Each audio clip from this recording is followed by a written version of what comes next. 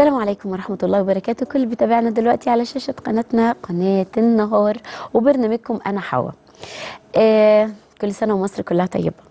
النهارده عيد العزة عيد الكرامة عيد نصر أكتوبر المجيد. عيد نصر أكتوبر المجيد وما أشبه الليلة بالبارحة. يعني إحنا آه فعلا عايشين في انتصارات. طول ما إحنا تحت القيادة الرشيدة لسيادة الرئيس عبد الفتاح السيسي لسه بنحقق انتصارات في سينا. وسينا لسه بترتوي بدماء أولادنا آه، الطاهرة لكن أنا يمكن كل الناس النهاردة هيتكلموا عن حرب أكتوبر من خلال القادة ومن خلال الناس اللي, شاركوا في الحرب. أنا فكرت إزاي إن إحنا نختلف فقلت أجيب لكم المقولات ماذا قيل عن حرب أكتوبر من خلال قادة العالم اللي شافوا آه، من المنظور الخارجي هذا النصر العظيم والإنجاز الغير مسبوق. يمكن هبتدي بكلمة الرئيس أنور السادات لما قال لقد حاربنا ونحارب من أجل السلام الوحيد الذي يستحق وصف السلام وهو السلام القائم على العدل. فالسلام لا يفرض وسلام الأمر الواقع لا يدوم ولا يقوم. إننا لم نحارب لكي نعتدي على أرض غيرنا بل لنحرر أرضنا المحتلة. ولإيجاد السبل لاستعادة الحقوق المشروعة لشعب فلسطين. لسنا مغامري حرب وإنما نحن طلاب سلام.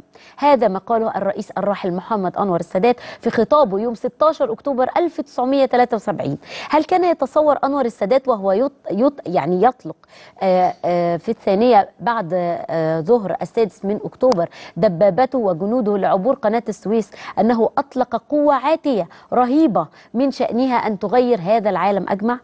إن كل شيء من أوروبا إلى أمريكا ومن أسيا إلى أفريقيا لم يبقى على حالته التي كان عليها منذ حرب يوم عيد الغفران إلا أن هذا الانقلاب المروع فيما يتعلق بإسرائيل قد اتخذ شكل الزلزال المدمر. ذلك أن الحرب التي عصفت بها كانت قاسية عليها في ميادين القتال ثم كانت أشد من ذلك دمارا على الناس هناك. فقد شهدوا مصرع حلم كبير تهاوى ورأوا بعد ذلك صورة معينة من إسرائيل وهي تزول إلى الأبد وهذا ما نتمناه إن شاء الله. هذا الكلام آه، قيل على لسان آه، قادة العالم في وقت آه، حرب أكتوبر المجيدة. حرب أكتوبر مهما تحدثنا عنها فيعني هي بتتوارثها الأجيال.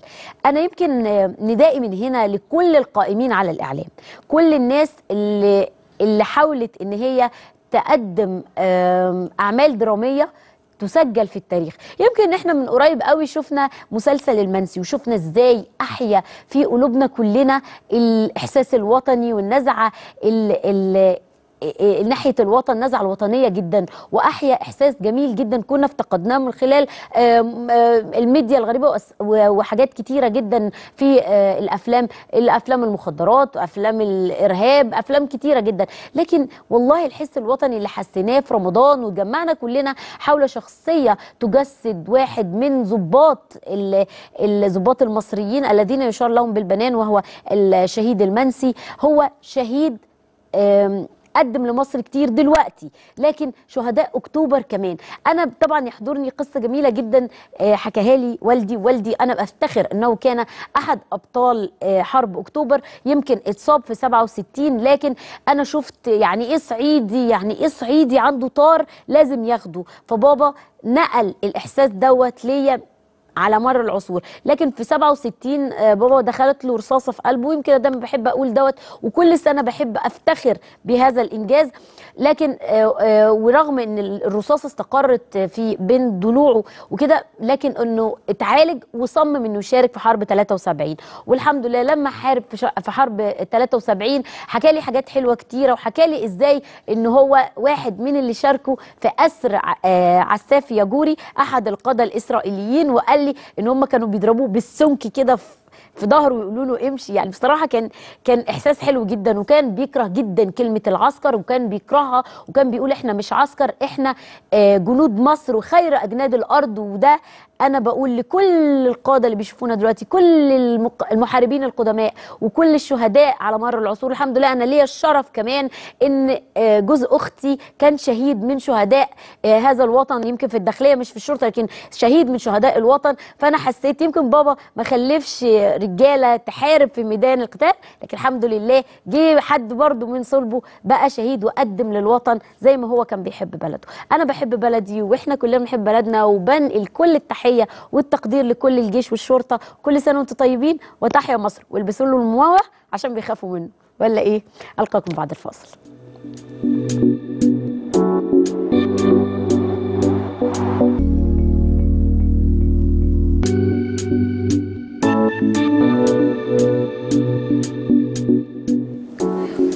السلام عليكم ورحمة الله وبركاته. رجعت لكم بعد الفاصل والنهاردة هنتكلم عن قصة غريبة لسيدنا عبد الله ابن المبارك رضي الله عنه إنه في إحدى الليالي خرج يودع أصحابه لأداء فريضة الحج.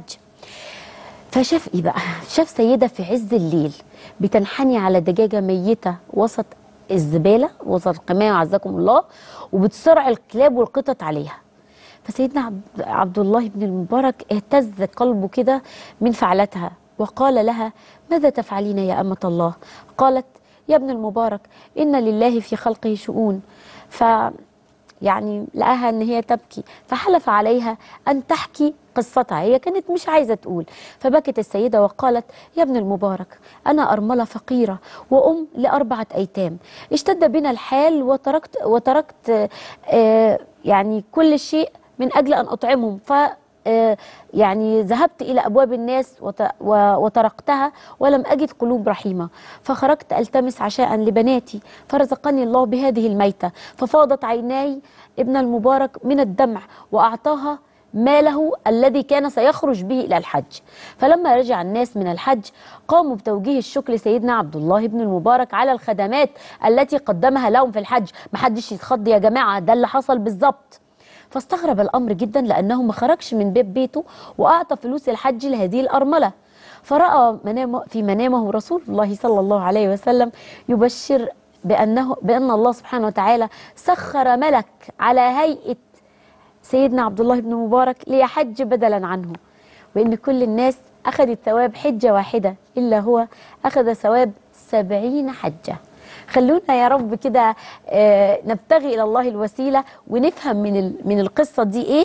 هنفهم من القصة دي إيه دلوقتي بعد تعليق ضيفتي اللي بتشرف وبتنور الحلقة كل أسبوع آه، أستاذة التفسير بجامعة الأزهر دكتورة هبة عوف اللي منوراني السلام عليكم حبيبتي. وعليكم السلام ورحمة الله وبركاته. أهلا وسهلا حبيبة قلبي وأهلا وسهلا ال- المشاهدين والمستمعين واللي بيبلغوكي بقى انت يعني تحيات كتيرة قوي قوي الدكتورة ميار ما شاء الله عليها دكتور. بس أنا ما قلتلهاش بقى قبل الحلقة حبيت أقول لها وإحنا في الحلقة كده عشان افاجئها كده أقول لها يعني.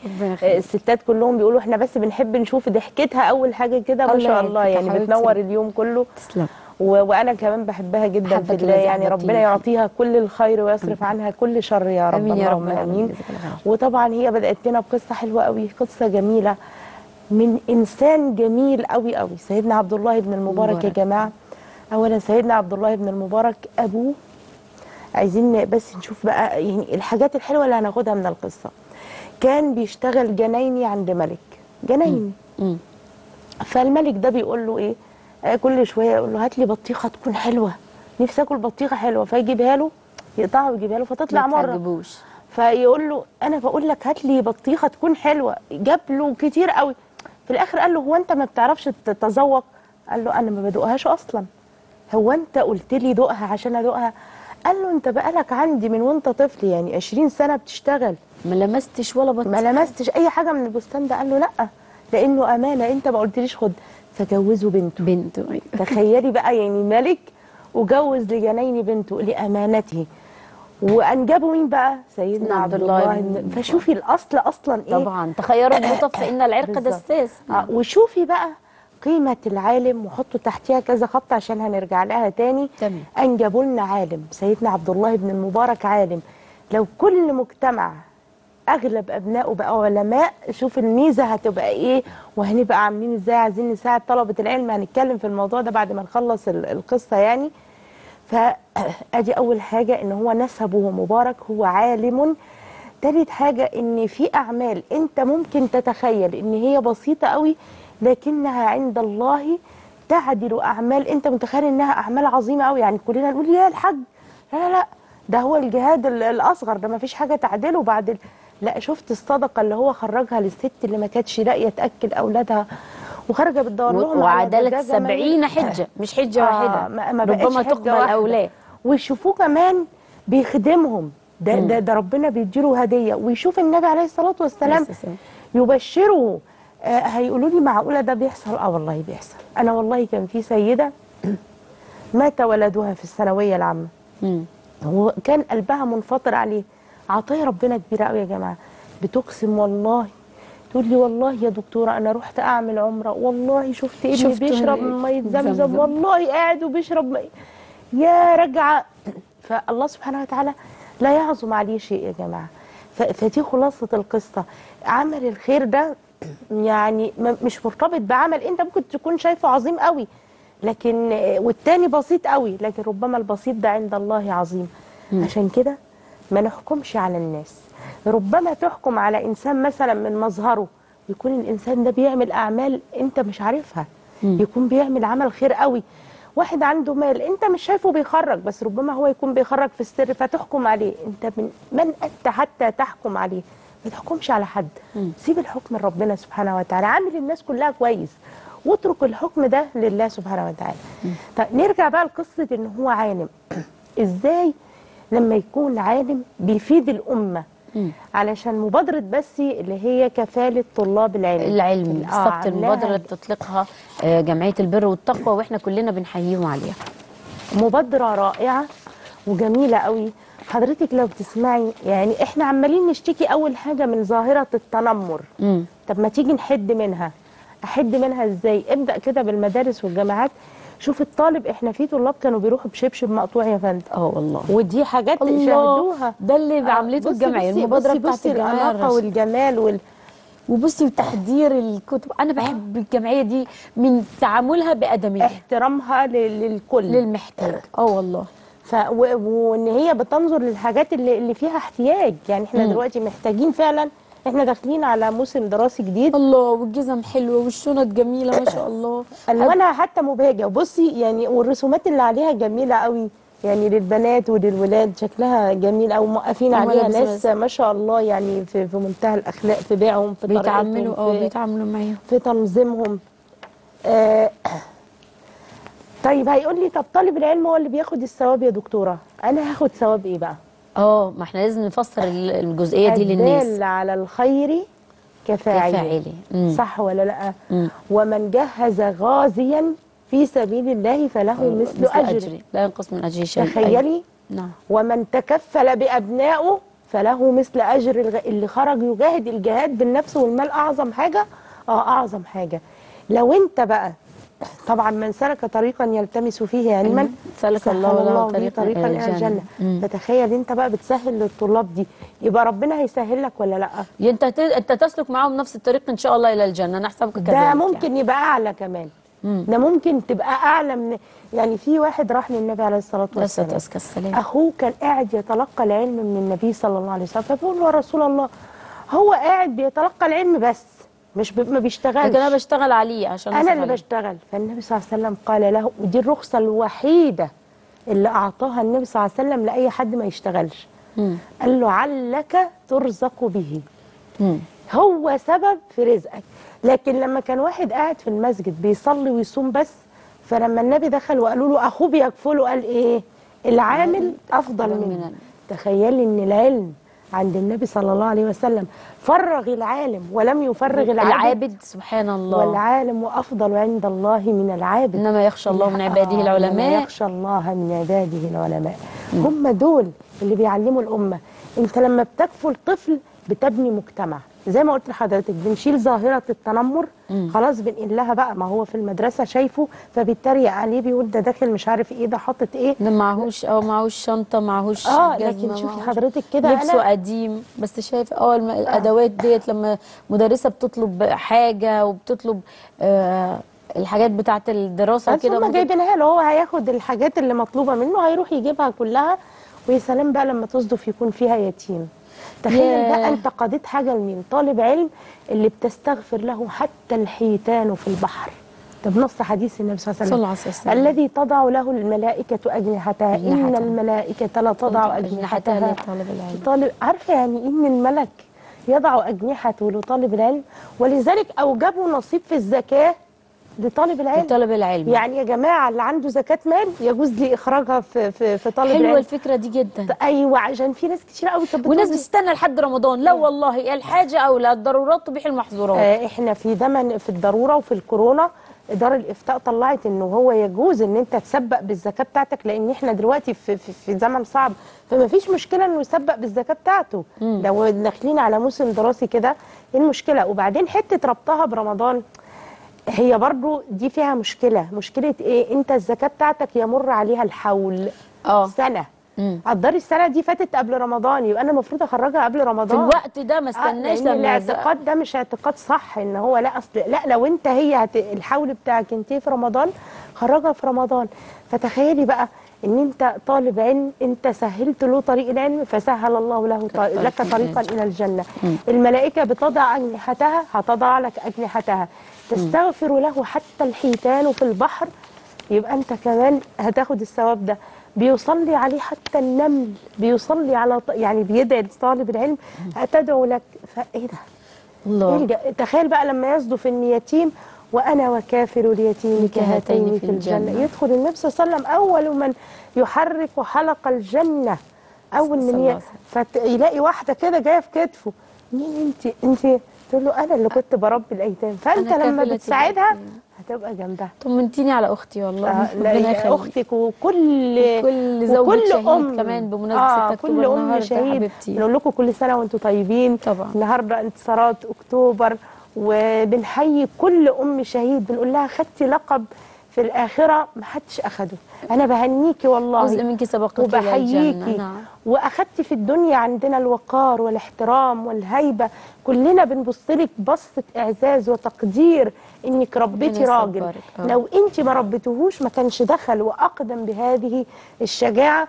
يعني كل اللي ماتوا في حرب أكتوبر أو بعد كده أي انتصار جالنا في بلدنا وبقى في عندنا أمهات شهداء كتير من الجيش والشرطة أنا بوجه لهم النهارده كل تحية كل تقدير رب. وبدعو الله سبحانه وتعالى أن يربط على قلوبهم آمين. وأنا اللي بقول لكم بقى ما تنسوناش وانتوا داخلين الجنة. دعائكم. آه مع النبي صلى الله عليه وسلم تفتكرونا كده معاكم إن شاء الله. إن شاء الله. أنا بس عايزة آه، أنوه إن المبادرة الخاصة بجمعية البر والتقوى تتضمن آه، كفالة الطلاب اليتامى قبل دخول العام الدراسي وكفالة آه، الكفالة تشمل الزي والكتب والمصاريف المدرسية وما شابه ثلاثة ربط الطفل بالمجتمع وحمايته من التشرد وده شيء هام جدا في المبادرة. تذليل العوائق أمام تعليم الغير قادرين فضل كفالة طالب العلم في الإسلام. يعني آه، الأربع حاجات أو الخمس حاجات دي مهمة جدا. هي دي المبادرة ودي أهداف المبادرة وده اللي تهدف ليه المبادرة. وإن شاء الله تكون كلها تحققت آه، في آه، طبعا الانفاق على طالب العلم. زي ما تفضلت الدكتورة قالت إنه ده سبب في زيادة الرزق سبب في استجابة الدعاء سبب في دخول الجنة. إن شاء الله نحن وإياكم واستمرارا لمبادرات جمعيه البر والتقوى. يا دكتور اللي بتستهدف حياة كريمة لأهالينا في أهم حاجة إن إحنا دلوقتي داخلين على الشتاء. آه. الدنيا ابتدت فعلا تبرد. آه. فالموضوع دلوقتي بقى لا يعني لا يستهان بيه إن إحنا محتاجين آه، بطاطين محتاجين حاجات علشان برد الشتاء. وربنا يعافينا وإياكم. فجمعيه البر والتقوى عاملة مبادرة ال ألف بطانية لأهالينا المحتاجين. عايزين بقى نعرف يا دكتور فضل ستر عورات المسلمين في هذا البرد القارس اللي إحنا عارفين إنه الحر كان جامد جدا فالشتاء هيكون أشد آه، برودة يعني من سابق أنا عايزه أقول لحضرتك حاجة إحنا بدأنا بنجيب له الطلاب اهو حاجة المدرسة وكده لازم اوفر له في بيته حياة كريمة برضه نعم. مش الطلاب بس الطلاب والعيلة كلها أيوة. بس أنا بدي مثل يعني هيقدر يذاكر إزاي وهو قاعد بردان آه. فمش هيقدر يذاكر. فلازم إن بالذات القرى ندور النائية اللي بتروح حياة كريمة آه يقدر يذاكر فيها يقدر يقعد يكون مطمئن كده. ومن ستر مسلما ستراه الله في الدنيا. مسترنا فوق الأرض في وتحت الآخرة. والستر يا جماعة زي ما قلنا قبل كده مش ستر بس معنوي لا ستر مادي كمان. نستره إني ألبسه إني أعمل له زيه كويس. هو المسلم اللي اتقتل في في في غزوة بني قينقاع. قينقاع. آه. ليه؟ عشان عروا ثياب رجل رجلها بس. فدخل عشان ي... عشانها عشان يسترها عشان يفك ثيابها عشان هم وقتها اليهود ربطوا آه، ديل آه، ديل ال- الجلابية في. الطرحة بتاعتها فت... فتعرت المرأة فتخيلي بيقتل علشان إيه؟ علشان إن هو يستر, يستر. امرأة والنبي صلى الله عليه وسلم قوم الغزو علشان يروح حرب بني عشان واجلاهم. من المدينة تخيلي النبي لما يقوم قوم كده علشان عورة امرأة انكشفت طب أمال أنت لما تستر عورة بقى هتاخد إيه النبي قلع عمامته واداها لواحد علشان تستره من الشمس فإحنا دلوقتي وبنقدم لك أهو ويعني عدد والله باب. جنة والله باب جنة يعني يا آه. ريتكم تطرقوه آه والله رب. يعني وبعدين الحاجات ظاهرة وواضحة والجميع يشوفها ما شاء الله. يعني حاجات آه، واضحة وظاهرة واللي عايز يشوفها يروح يشوفها ما شاء الله. كم من البطاطين. وبصراحة الخير في أمتي. الناس ما شاء الله عليهم. يعني عايزة أقول. لحضرتك آه، بسم الله ما شاء الله. يعني بتسمعي ناس كده أنا والله أقول إيه ده؟ ما شاء الله. إيه الخير اللي جواهم ده؟ وكل يقول لك إيه؟ أنا عشان ربنا. أنا عايزة أقابل ربنا كده وأنا عامل عمل خير. و- واحدة والله بتكلمني بتقول لي عايزة أتخرج من فرش بيتها. تخيلي ياه. حضرتك من ف... عشان يمكن ما عندهاش آه. أهو. أنا عايزة أخرج كمان من فرش بيتي مع الفلوس اللي أنا بخرجها. لا وعايزة أخرج. ما حدش بيستخدمه قوي. اخلي لي شوفي مع إن هي الم... تخيلي إيه ده؟ إيه الناس دي؟ ما شاء الله إحنا عندنا يعني شعب و... رجال ونساء يعني بس طبعا بخص السيدات شوية السيدات بصراحة. مقدمين خالص ده كلهم هم اللي بيكلموني هم اللي آه. بيهتموا. إنه ياخدوا الأرقام بتاعتنا طبعا ظاهرة على الشاشة ربنا يجعله في ميزان حسناتكم يا بس أنا يا دكتور برضو عارفة إن انت حضرتك نزلتي بنفسك آه. أكتر من 100 بيت وشفتي قد إيه إن الأسقف وإن وإن إن الواحد والله يا دكتور أنا سبحان الله أنا دايما بفكر في في الفقرات في الجمعية بالذات كنت يعني في يعني في مكان ولقيت ولقيت حد بياخد دش من البوابين عندنا إحنا عندنا العماره ورانا كده لسه ما اتبنتش فهم عاملين لهم زي عارفة اللي هو الطوب كده بس ملوش سقف سقف. آه. فأنا أنا مش. بالصدفة أنا خارجة في الشباك.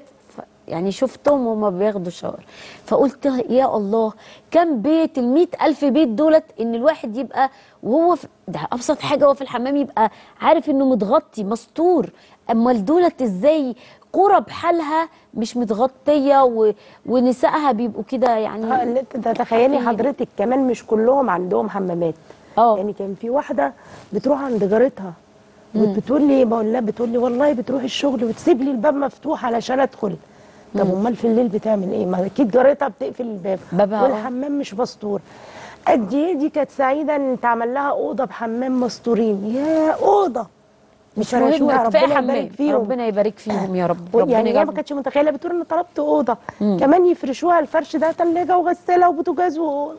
إيه ده بصي الأوض كانت عاملة إزاي؟ بصي ال- ال- الحياة كانت عاملة إزاي؟ وإن هم فعلا منهم للطل زي ما بيقولوا. والله منهم. بصي حضرتك الباب ما فيش فيه هم أحيانا يحطوا قماشة يحطوا ملاية يحطوا بطانية. آه.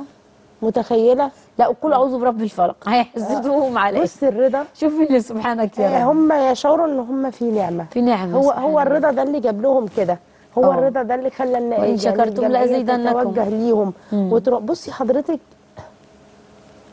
يا صعب لا أنا رحت آه. فعلا حضرتك أنا عايزة أقول. لحضرتك يعني كده مش ناقل الصورة برضه آه. التلفزيون الصورة مش بتبقى عارفة صورة أصعب من كده وأقصى آه من كده لما بتروحي بنفسك أنت نفسك ما بتتخيليش يعني آه إزاي يعني هي عشان عارفة كنا رايحين عاملة لنا عصير بتقول أنا بعت تلجته سقعته عند واحدة مش عارفة فين عشان تسقع شوية في عز الولعة يعني هي بتشرب يعني كده من ال من المية السخنة الم-. متخيلة اللي كانها عشان- بتغلي. عشان أنتوا جايين لي ضيوف إن يعني عارفة إيه ده؟ تخشي تلاقيها معلقة الطماطم عشان ما فيش تلاجة معلقاها بالغصن بتاعها عشان ما تبصي. حاجة يعني انت بقول لك ليس من رأى كمن سمع.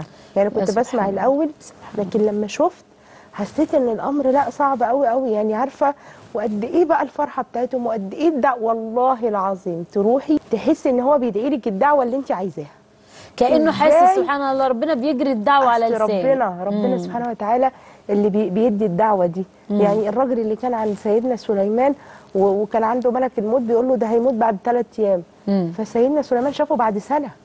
آه. فقال له إيه ده؟ أنت مش قلت لي بعد ثلاث أيام هيموت؟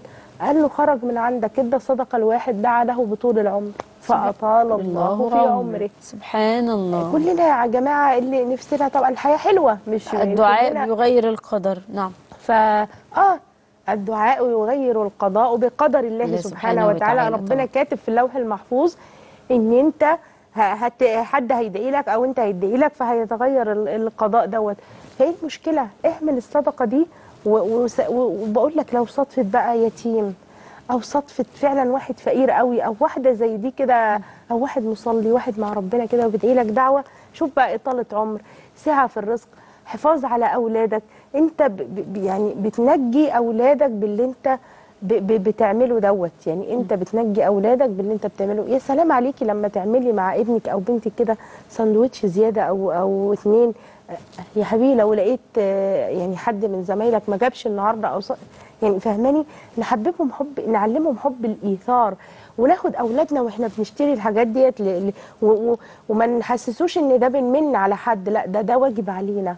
تعالى بص إحنا عشان كلنا نروح المدرسة وإحنا حلوين كلنا يبقى معانا كذا يعني نعلم مش بس أولادنا. واجب ده أنت حاجة حلوة ليك يعني ده دي ده أنت دي ربنا است- اصطفاك اختارك من كل الأطفال دي علشان ربنا يخليك تطلع الصدقة دي عشان ربنا شايل لك حسنة كبيرة طبعا. إحنا بنحاول نحبب ولادنا بالطريقة دي يا دكتور ونحببهم في بعض مم. وما نحسسهمش إن في حد أعلى من حد مم. كلنا واحد ده سبب دخولك للجنة ده سبب إن أنت هتفهم كويس. لما تجيب له ال- الكشاكيل والكراريس دي ربنا هيفتح عليك. هيسهل لك آه آه، ما هو فاهمة. من سهل أنت هتسهلي له طريق العلم. والله ربنا هيسهل لك وليه. هتيجي تدي له درس كده يقول لك لا يا ماما ده أنا فاهم المادة دي. ما هو العلم ده هبة. هتلاقي ربنا كده مفتح مخ ابنك ده وعقله. يبقى وبركة. ربنا يبارك له في كل حاجة يقراها أو يذاكرها. ونور.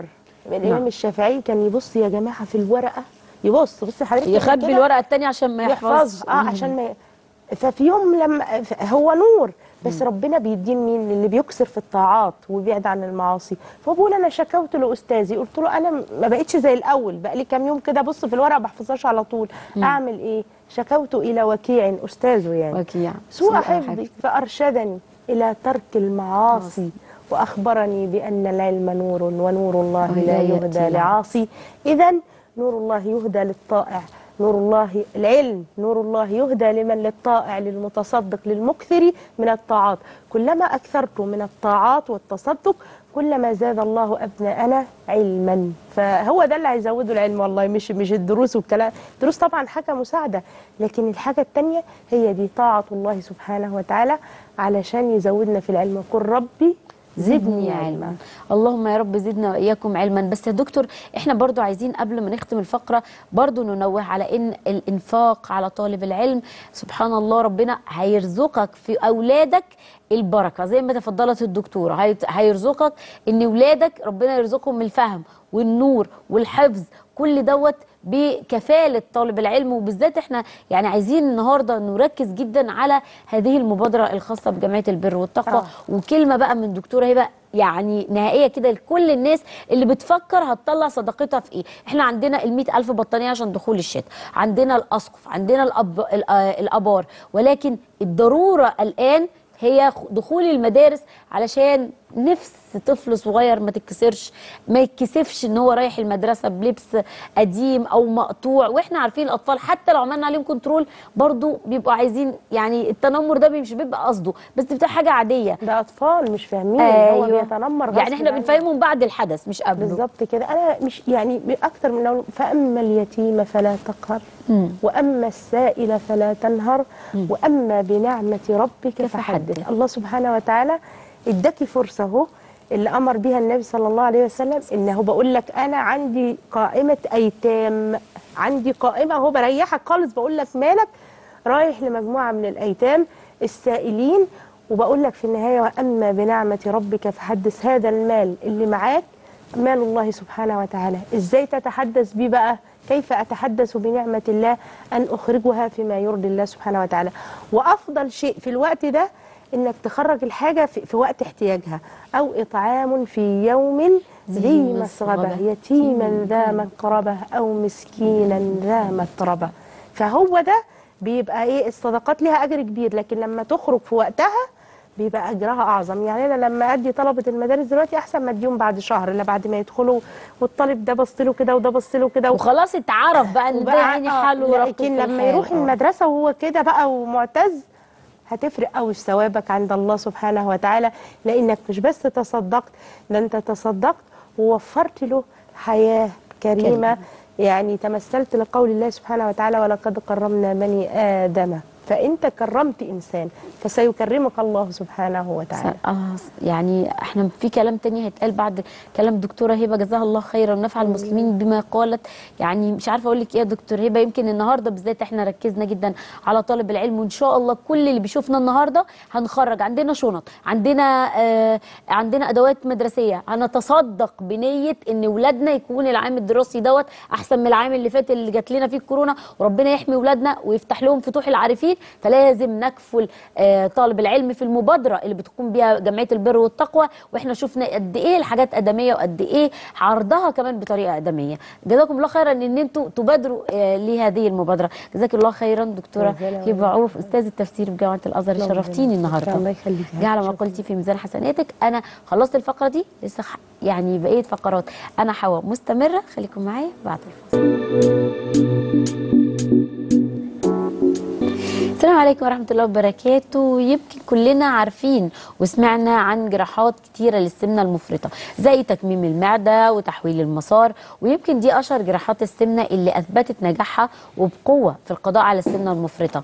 لكن طبعا في عمليات تانية العلم كل يوم فيه جديد والتكنيشنز بتتغير كتير والنتائج بتكون أحسن ونسبة الخطر بتكون أقل. بس كمان لما يكون في دكتور متميز ومتمكن وبيطلع على أحدث آه، يعني الأبحاث اللي بتتعمل في مجال السمنة بيحضر مؤتمرات. إحنا بنبقى واثقين إحنا داخلين عند مين. لأن يا جماعة الموضوع والله فعلا رغم إن هو بيقولوا سهل وبسيط والعمليات اتقدمت إنما لازم نعرف كويس الدكتور ونعرف نختار الدكتور بتاعنا كويس ونشوف قد إيه هو حقق نجاحات قبل كده. عشان كده أنا يعني دكتوري اللي بيشرفني دايما في الحلقة إن شاء الله يوم الثلاث زي ما أنتم بتستنوا وزي ما كل صحباتي بعتوا لي دكتور آه، آه، أحمد السراج آه، مدرس واستشاري جراحة السمنة والسكر والمناظير بطب آه، عين شمس وعضو الجمعية المصرية لجراحة السمنة ودكتوراه الجراحة العامة طب عين شمس وعضو الكلية الملكية للجراحين بإنجلترا. ما فيش بقى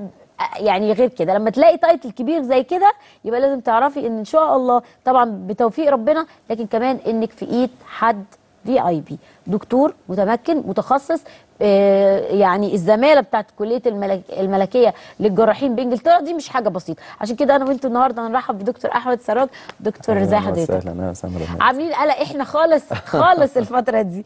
ربنا يا رب يبارك لك. وكل الحالات اللي اللي بتقابلني والحالات اللي من خلال صفحتي بتشكرك. وأنا اللي سعيدة إن أنا فخورة إن حضرتك معايا بصراحة. ربنا يكرمك يعني. بيضت وشي عند الناس اللي بعتوا لي كلهم بيضت وشي قدامهم. وبيشكروك وبيدعوا لك. يمكن إحنا في عمليات كتيرة للسمنة وأسامي كتيرة مستحدثة لكن آه، في ثلاث أسامي مهمة جدا هنتكلم عليهم النهارده باستفاضة علشان نطمن الستات اللي بيشوفونا عنهم. عملية الكشكشة وعملية السادي وعملية الساجي. الثلاث عمليات. نبتدي بعملية الكشكشة إحنا كنا الأسبوع اللي فات عايزين نتكلم عنها. بس إيه الكشكشة بقى؟ بص حضرتك هي بتقابلنا مشكلة في الناس اللي هم بيبقوا أوزانهم مش عالية قوي يعني بيبقى مثلا من 25 ل 35 كيلو زيادة فدول بيبقوا يعني بصراحة ما يعني عشان نعمل فيهم تكميم بيبقى صعب شوية. فبنلجأ لعمليه أظرف شوية اللي هي الكشكشة آه، إن إحنا بنصغر حجم المعدة من غير ما بنقص حاجة منها. تمام. بنستخدم خيوط آه، خيوط دي ما بتدوبش خالص آه، بحيث إن إحنا هنصغر حجم المعدة زي ما تقولي بنتنيه على نفسها بحيث إن هي تصغر في الحجم يعني كمية الأكل تصغر والمريض بيخس وهي بتناسب الأوزان اللي هي المتوسطة اللي هي 20 25 كيلو 30 اللي هي أقل من 100 يا دكتور يعني. آه ما إحنا إحنا قلنا المرة اللي فاتت اتكلمنا في قصة ال ال ال الحساب الاختيار إن هو. الوزن اللي هو المثالي الطول ناقص 100 الطول ناقص ناقص 100. 100 آه.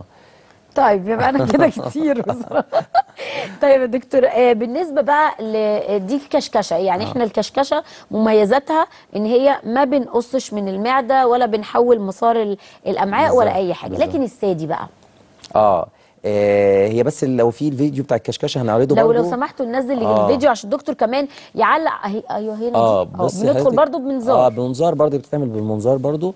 آه فتحات كلها صغيرة برضو بنخش.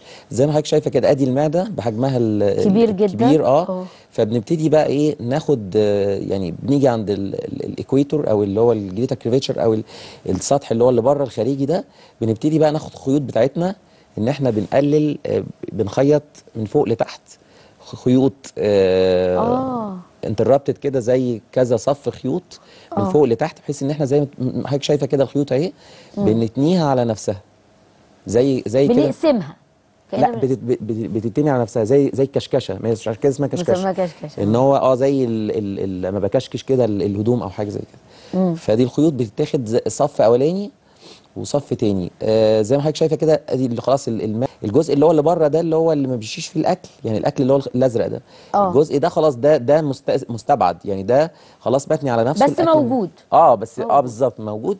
فالأكل بيمشي في الجزء اللي هو اللي على الشمال ده في الجزء آه. الصغير ده. بس. تمام. يعني طب دي يا دكتور معلش برضو إحنا كل عملية لازم نقول. الآثار الجانبية بتاعتها إيه؟ بالظبط. الكشكشة ملهاش أي مضاعفات خالص. يعني إحنا ما بنقصش حاجة من المعدة عشان بس في ناس بتقلق من قصة التسريب اللي بتحصل مع ال- التكميم والكلام ده بس التسريب برضو عشان نطمن الناس بيحصل في نسبة 1% وبيبقى ليه حلول لو حصل يعني. بس الكشكشة ما بيحصلش فيها تسريب خالص يعني تقريبا اولموست يعني. آه في نفس الوقت ما بنشيلش حاجة من المعدة. في ناس بتحب إن هي آه بعد كده يقول لك أنا عايز أرجع آكل زي الأول. يعني هو خلاص نزل في الوزن وبتاع يقول لك أنا عايز أرجع زي الأول. فممكن دي ميزتها برضو إن أنا ممكن أرجع فيها.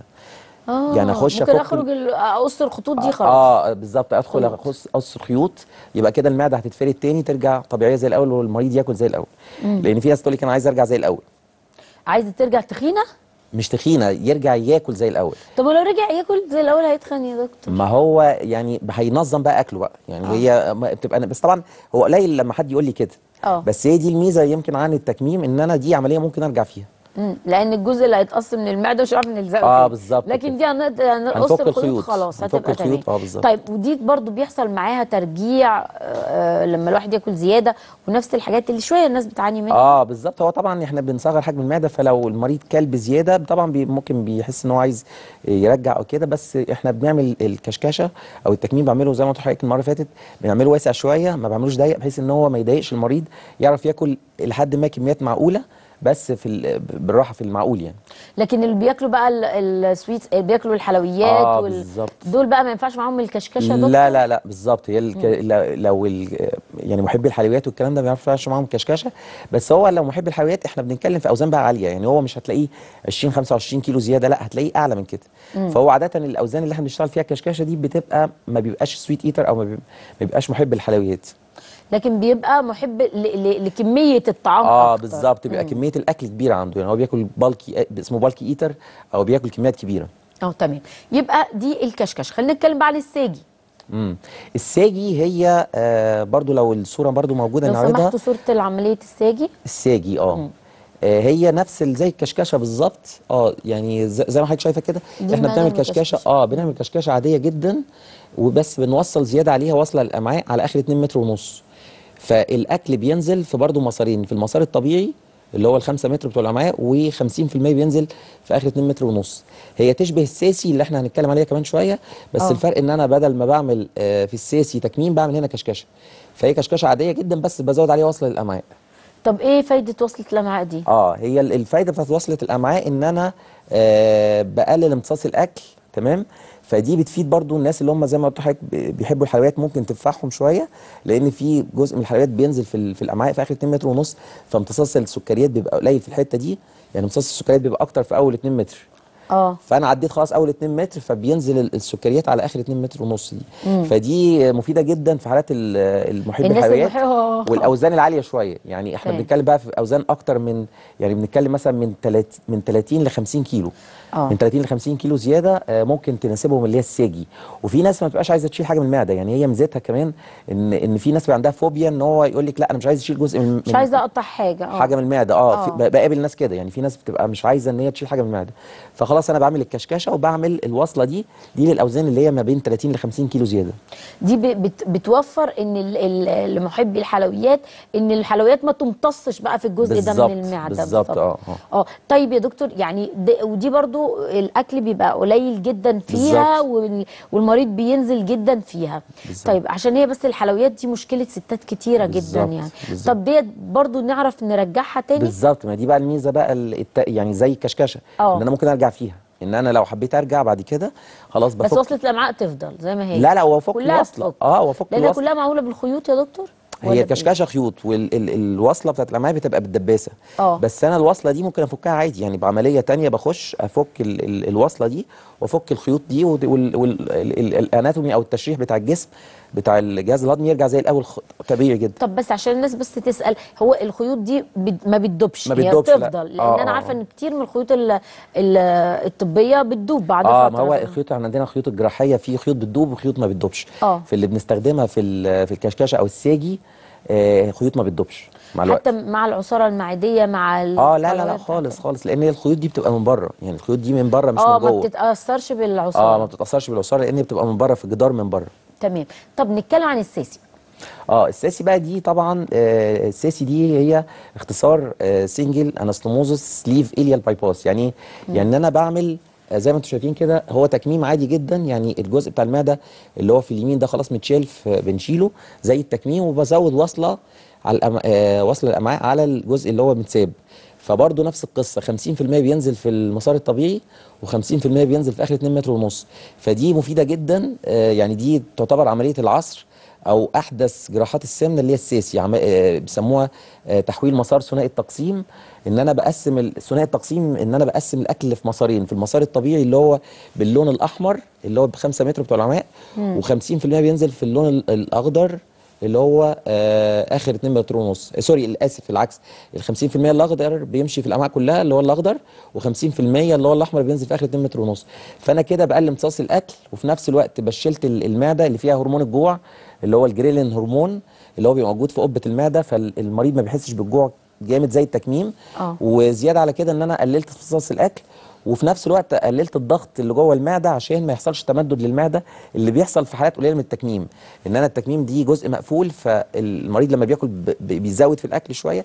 مع الوقت ممكن يحصل اتساع في المعدة ومش هترجع طبعا زي الأول بس بتتسع شوية. بتتسع آه آه شوية فيخليه ياكل كميات ف يتخن. فأنا لأ أنا ال- ال- الوصلة دي بتخ... بتقلل الضغط جوه ال- ال- المعدة. فدي ميزة الساسي يعني بتقلل الضغط يعني معنى كده حتى لو كل حلويات لو كل كميات أكتر آه، من. الأكل على قد برضه يعني هيطلع الأكل مش قادر ياكل أصلا. بالظبط. هو ما بيقدرش طبعا ياكل كميات كبيرة آه والوصلة دي بتقلل امتصاص الأكل. فدي من أقوى عمليات السمنة اللي هي الساسي آه آه، اسمها آه، تحويل مسار ثنائي التقسيم. بشيل جزء من المعدة بعمل وصلة آه على على المعدة اللي إحنا عملت لها عملت لها تكميم. آه من العمليات قوية جدا. بتعالج السكر يعني 90% من الحالات السكر بيختفي بعد ثلاث شهور خالص. عشان اللي هي الوصلة ديت اللي هي الوصلة دي فيها آه امتصاص الوصلة الزياده آه. 90% بيختفي السكر آه الكوليسترول اللي عالي في الدم الضغط كل ده بيخف خالص. الوزن الزيادة بي بعد السنة تقريبا بيكون نزل آه، معظم الوزن الزيادة بتاعه. فدي من العمليات القوية جدا في الس- في السمنه وميزتها إن انت ما بتحتاجيش تاخدي فيتامينات. آه لأن آه. المفروض التحويل المسار الأولاني العادي آه. بناخد vitamins عشان نعوض ال- بالظبط آه. فدي ميزة ال SASI ال SASI زي التكميم إن أنا بحتاج بس فيتامينات في أول ست شهور لأول سنة بس لكن ما بحتاجش إن أنا أمشي فيتامينات dependent عليها أو إن أنا معتمد عليها طول الوقت. فدي ميزة ال SASI. طب حضرتك بقى جالك مريض تنصحه باني واحدة من العمليات؟ ما هو بقى بالظبط حضرتك إحنا بن بنشوف بقى يعني زي ما قلت لحضرتك الوزن وزنه كام آه طبيعة أكله حركته. هل بيتحرك ولا لا؟ بينزل بيمارس رياضة ولا لا؟ آه ستات البيوت طبعا بيبقى يعني برضو الرياضة قليلة أو ال- الحركة قليلة أو الكلام ده كله. فطبعا بيعتمد على كذا آه حاجة. آه، طبعا بنعمل تحليل برضو غدة درقية بحيث إن إحنا نشوف آه، هل في عنده حرق في مشكلة في الحرق. ممكن يكون قصة السمنه أساسا عنده آه، إن في كسل في الغدة الدرقية. فدي بيبقى علاجها إن أنا بدي علاج للغدة الدرقية. آه، الأول بعد كده بشوف هينزل في الوزن ولا لأ ما نزلش ممكن ساعتها بنلجأ لجراحة. الجراحه ممكن تكون الكشكشة ممكن تكون الساجي ممكن تكون الساسي لكن آه يظل برضو آه عايزين نطمن الناس يا دكتور. التعقيم آه الريكفرنج بعد كل عملية بيبقى قد إيه؟ آه. بص حضرتك إحنا العمليات كلها بالمنظار المريض بيتحرك من تاني يوم يعني تاني يوم بير- بيروح البيت يعني بن- بنروح العيان. حتى من من القطع المعدة كمان يعني آه. آه أصل كل ده جوه البطن. إحنا ال- أهم حاجة في يبقى فيه جروح صغيرة ثلاث جروح صغيرة بيبقوا نص سنتي سنتي. المريض بيروح تاني يوم ممكن بيروح في نفس اليوم برضو. يعني في الكشكشة ممكن يروح نفس اليوم. العمليات التانية بفضل إن هو يقعد يوم في المستشفى. آه تاني يوم بيرجع البيت بيتحرك عادي جدا ممكن ينزل يروح يجي ما فيهاش مشاكل خالص آه ويقدر ينزل الشغل بعد يومين ثلاثة بكتير يعني يومين ثلاثة من آه. غير ما يحس بألام أو أوجاع آه بالظبط هو الألم بيبقى أول يوم بس يعني الألم أول يوم آه. تاني يوم بيبقى حاجات بسيطة جدا مع المسكنات بتبقى الدنيا كويسة على. تالت يوم بالظبط بيبقى خلاص تقريبا ما كأنه مش عامل حاجة تمام. ودي ميزة المنظار عن الجراحة. يعني هو ال- المنظار آه، ميزته إن هو بيبقى فتحات صغيرة بيبقى اسمه minimal invasive surgery يعني آه، تدخل جراحي آه، محدود جدا. غير الجراحة طبعا بيبقى فتح فغير مشاكل الجرح والكلام ده كله. تمام. يعني إحنا دلوقتي قلنا إن الساجي والساسي والعمليات الكشكشة كمان ممتازه صح يا دكتور؟ بالظبط. الساجي والساسي والكشكشة ثلاث عمليات طفرة في عالم آه، جراحات السمنة مع دكتور أحمد سراج. الموضوع مختلف جدا. بسم الله ما شاء الله مستوى الأمان هايل مستوى التعقيم هايل. آه، دكتور ما شاء الله يعني بيرسم كده بالمشرط آه، ربنا يكرمك يا دكتور. برضو بنقل لك كل الشكر وكل التقدير ويعني الدعاء من الناس اللي, اللي- حضرتك عملت لهم العملية. وإن شاء الله يا رب كده دايما متقدم ودايما آه، في ميزان حسناتك كل إسعاد الناس اللي ربنا حياهم بعد ما تخلصوا ربنا يكرم حضرتك آه، دكتور أحمد سراج مدرس واستشاري جراحة السمنة والسكر والمناظير بطب عين شمس عضو الجمعية المصرية لجراحة السمنة دكتوراه الجراحة العامة طب عين شمس وعضو الكلية الملكية للجراحين بإنجلترا. شرفتني ونورتني أنا اسعد والله. ولسه الكلام لسه ما خلصش عندنا. طبعا إن شاء الله الأسبوع الجاي هنتكلم على آه كل الأسئلة اللي أنتوا اديتوها لنا علشان تبقوا مطمنين. وغير كده كمان دكتور هيقول لنا على الجديد في جراحات السمنة والمناظير. ويلا كل واحدة بتحلم بالرشاقة كل حاوة بتحلم بالرشاقة مع دكتور أحمد السراج. الموضوع مختلف تماما. شكرا يا دكتور. أنا النهارده وصلت لنهاية فقرتي ونهايه حلقتي. بكرة إن شاء الله بحول الله وقوتي. حلقة جديدة معاكم في أنا حواء وفقرات تانية متنوعة. رب فقرات النهارده كلها تكون عجبتكم. آه، برضو عايزة أهني كل الناس وأقول لهم كل سنة وأنتم طيبين بنصر أكتوبر وتحيا مصر. ما تنسوش البسوا المموة عشان بيخافوا منه السلام عليكم.